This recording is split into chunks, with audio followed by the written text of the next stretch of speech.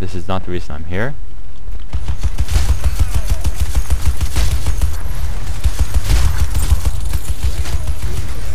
Oh man, that was awesome.